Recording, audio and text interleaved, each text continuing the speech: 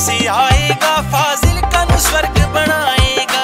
ਜਾਨੀ ਵਾਪਸ ਆਏਗਾ ਫਾਜ਼ਿਲ ਨੂੰ ਸਵਰਗ ਬਣਾਏਗਾ। ਹੱਕ ਸੱਚ ਦਾ ਪਹਿਰੇਦਾਰ ਜੀ, ਸੁਰਜੀਤ ਜਿਆਨੀ ਹਲਕੇ ਦਾ ਸੇਵਾਦਾਰ ਜੀ, ਸੁਰਜੀਤ ਜਿਆਨੀ ਹੱਕ ਸੱਚ ਦਾ ਪਹਿਰੇਦਾਰ ਜੀ, ਸੁਰਜੀਤ ਜਿਆਨੀ ਹਲਕੇ ਦਾ ਸੇਵਾਦਾਰ ਜੀ, ਸੁਰਜੀਤ ਜਿਆਨੀ ਗਲੀ ਦੇ ਵਿੱਚ ਬਸ ਕੋਈ ਨਾਮ ਹੀ ਛਾਏਗਾ